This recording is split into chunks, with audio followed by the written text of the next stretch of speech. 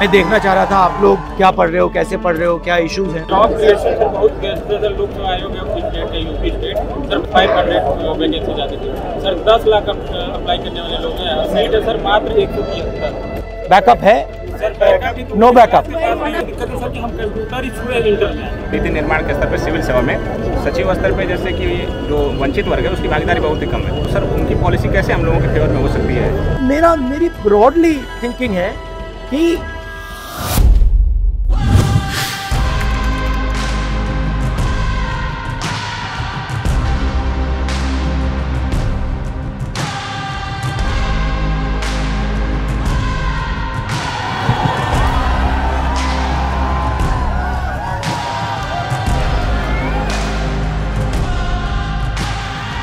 तो बताओ house it कैसा चल रहा है? मैं देखना चाह रहा था आप लोग की सिचुएशन कैसी है क्या हो रहा है क्या पढ़ रहे हो कैसे पढ़ रहे हो क्या इश्यूज़ हैं थोड़ा समझना चाहता था। अभी मैंने ये यात्रा की आपने देखा होगा कन्याकुमारी से कश्मीर। तो उसमें मुझे एक अजीब सी चीज़ देखने को मिली कि जब भी मैं युवाओं से बच्चों से पूछता था क्या करना चाहते हो? तो सिर्फ़ पाँच जवाब मिलते थे। मतलब 99.99 परसेंट लोगों ने मुझे बस पाँच जवाब दिए। Lawyer, doctor, engineer, IAS, IPS या फिर पुलिस और आर्मी। शायद एक लड़की मिली जिसने कहा कि मैं अपना बिज़नेस चलाना चाहती हूँ। तो इसलिए मैंने सोचा कि मैं आज डायरेक्टली आपसे आगे थोड़ा पूछ लूँ। आपका, आपकी एस्पिरेशन क्या है? क्या कर रहे हो? क्या कोशिश कर रहे हो? क्या मुश्किलें हैं? ये मैं समझना चाह रहा था। क्योंकि आप आप उन पाँच में से एक एक या दो? हो सर सिस्टम में दो तीन जगह खामी पहले तो एजुकेशन हम सर ग्रामीण भूमि से हैं यूपी का पूर्वी यूपी का। कहाँ के आप? बनारस के बनारस। बनारस। तो सर वहाँ सिस्टम ये दिक्कत है सर कि हम कंप्यूटर ही छुए इंटर में। आते देखे से कि कंप्यूटर क्या होता है। तो हमारे लिए आईटी सेक्टर खत्म। फिर हमको जब तक पता चलता है कि आईटी सेक्टर का रोड मैप क्या है अदर बिज़नेस का रोड मैप क्या है स्टार्टअप कैसे खुलते हैं तो इसकी नॉलेज नहीं होती हमको। तो हम सिंपली बी कर लेते हैं। फिर हमारे आगे अपॉर्चुनिटी दिखती है आर्मी पुलिस यूपीएससी तो एक प्रतिष्ठावान जॉब हो जाती है यूपीएससी एंड स्टेट पीसीएस की लोकसभा आयोग की सर्विसेज़ आप सबने ये डिसीज़न लिया है कि आप कम्पिटेटिव एग्ज़ाम में जाना चाहते हो। ये जो डिसीज़न आपने लिया है ये आपका डिसीज़न है या समाज का डिसीज़न है या मामा पापा का डिसीज़न है या भाई का डिसीज़न किसका है? आपका है? सो समाज समाज का डिसीज़न हाँ?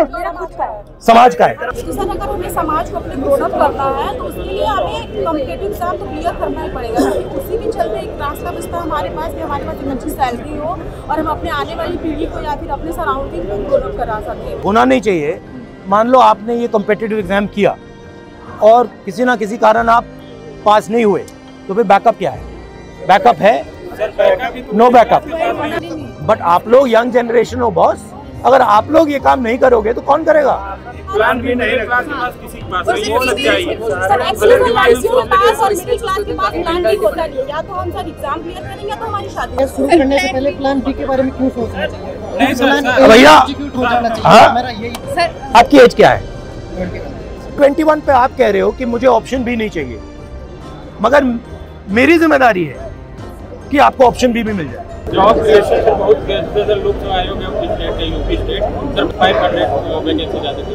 सर दस लाख अप्लाई करने वाले लोग हैं। सीट है सर मात्र एक सौ तिहत्तर करने वाले तो लोग हैं लेकिन सीटें लगातार जा रही हैं और जो कि लड़के जितने भी उसमें कोशिश कर रहे हैं वो या तो फ्रस्ट्रेशन हो रहा है लगातार देखिए सर सुसाइड रेट इंडिया में बढ़ रहा मेरा, मेरी ब्रॉडली थिंकिंग है कि अपॉर्चुनिटी सबको मिलनी चाहिए। बट बेसिकली क्या है कि बहुत कम लोगों ने हिंदुस्तान का पूरा पावर कैप्चर कर दिया। मैन्युफैक्चरिंग से ही रोज़गार बन सकता है। और मैन्युफैक्चरिंग का जो चैलेंज है फ्रैंकली वो चाइना डोमिनेट कर रहा है और हिंदुस्तान को डोमिनेट करना पड़ेगा। जब तक हम उस रास्ते पे नहीं चलेंगे, तब तक हमारा 99 परसेंट पॉपुलेशन एक परसेंट जॉब्स को ढूंढता रहेगा। आम मिडिल क्लास का बच्चा है उसको हम इस पटरी पे लगा देंगे। 99 परसेंट तो आप फेल ही करोगे। एक परसेंट निकल जाएगा, वो बहुत खुश हो जाएगा।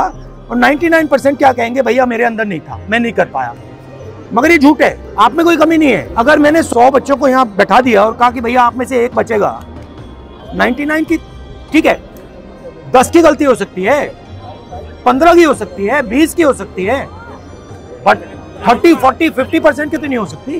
बैंक से हमको लोन नहीं मिलता आसानी से। अभी जो योजना चल रही पीएम मुद्रा योजना, सर, ये दिखावे के लिए तो बहुत है कि वो अल्लाह की बहुत मिल रहा है सबको, लेकिन मैं रियलिटी बता रहा हूँ, सर, आप आसानी से नहीं पा सकते मुद्रा और उसका, सर टैक्स भी बहुत ज़्यादा ले रहे हैं। एक परसेंट वाले पे बात करना है जैसे बिज़नेस अगर हम जाना भी चाहें तो फंड नहीं है मिडिल क्लास फैमिली के लिए। और अगर फंड भी दे दे गवर्नमेंट तो उसको लेने पाने के लिए इतनी नॉलेज नहीं है कहाँ से लेंगे। और गवर्नमेंट भी ऐसा तरीका भी नहीं बताता कैसे ले पाएँगे। अगर आप हिंदुस्तान के बैंकिंग सिस्टम को देखो आपने कहा कि हमें बैंक लोन नहीं मिलता। आपने कहा कि मुद्रा लोन मतलब प्रयास है उसको मिलता होगा प्रोसेस नहीं है वो ठीक है। मगर अगर आप देखें तो 10-15 लोग हिंदुस्तान के पूरे बैंकिंग सिस्टम को कंट्रोल कर। ठीक है? उनका बिज़नेस फेल हो सक्सीड हो, कुछ भी हो, कोई फ़र्क नहीं पड़ता। ठीक है? तो पूरा का पूरा जो बैंकिंग सिस्टम है, जिसको डिस्ट्रीब्यूट करना चाहिए, सबसे पहले वो बिल्कुल कॉन्सेंट्रेटेड हाथों में है, पाँच दस लोगों के हाथों में। हम चूँकि सर ओबीसी कम्युनिटी से आते हैं तो सर हमारे साथ पक्षपात हम हर जगह देख रहे हैं। जैसे ना कि मेरा मुद्दा ये है कि जैसे आपने कहा कि जो नीति निर्माण के स्तर पर सिविल सेवा में सचिव स्तर पर जैसे कि जो वंचित वर्ग है उसकी भागीदारी बहुत ही कम है। तो सर उनकी पॉलिसी कैसे हम लोगों के फेवर में हो सकती है? मैंने कभी कर्नाटक में बोला। सबसे पहले तो ये पता लगाना पड़ेगा कि हैं कितने लोग। अगर मतलब हम यहाँ कुछ बांटना चाहते हैं तो हमें ये तो पता लगाना पड़ेगा, भैया, यहाँ पे कितने कितने अलग लोग। तो मैं सोचता हूँ कि पहला कदम, सेंसस। आपकी हड्डी टूटी है तो एक्सरे तो करना पड़ेगा ना? एक्सरे के बिना मैं वहाँ पे इलाज करना शुरू कर दूँ, कोई मतलब नहीं है। उसके बाद एक बार पता लग गया कौन लोग हैं, फिर पॉलिसी बनाने में आसान हो जाती है। मुझे बहुत खुशी हुई, सर, मैं आपको बहुत सपोर्ट करता हूँ। सर, पहले आप ऐसे नेता हैं जो राष्ट्रीय स्तर पर ये बात रखें। आप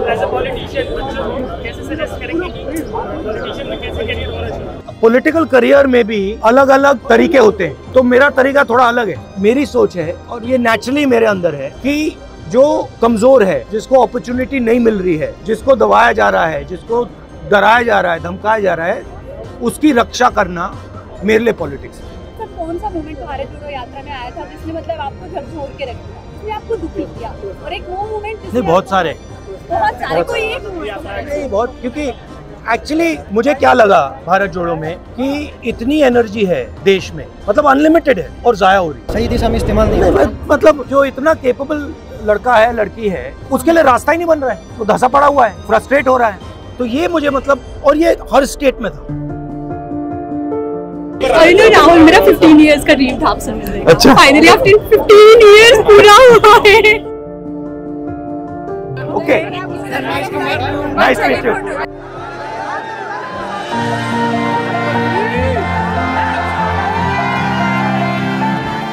काफ़ी अच्छा लगा। और उन्होंने रियलिटी बताई है भारत की भी रियलिटी और खुद की भी रियलिटी बताई है जो वास्तव में है वही बताया उन्होंने और उनसे मिलकर जैसा सुना था उससे भी कई अच्छे मिले हैं वो। बात की हमें बहुत अच्छा लगा कि राष्ट्रीय स्तर का नेता हमारे बीच बैठ के हमसे बात कर रहा है। इसी बारे में सबने बताया कि अगर सौ सौ परसेंट जनता है उसमें पाँच परसेंट बच्चे सेलेक्ट हो रहे हैं तो इसका मतलब ये नहीं कि नाइन्टी फाइव परसेंट बेकार है। इसका ये मतलब है कि उनको अपॉर्चुनिटी नहीं मिली अदर सेक्टर्स में उनको अपॉर्चुनिटी नहीं मिल। रही हाँ, ऐसे कार्यक्रम होने चाहिए ताकि अन्य जगहों के लोग भी जुड़ सकें और अपनी बातों को रख सकें।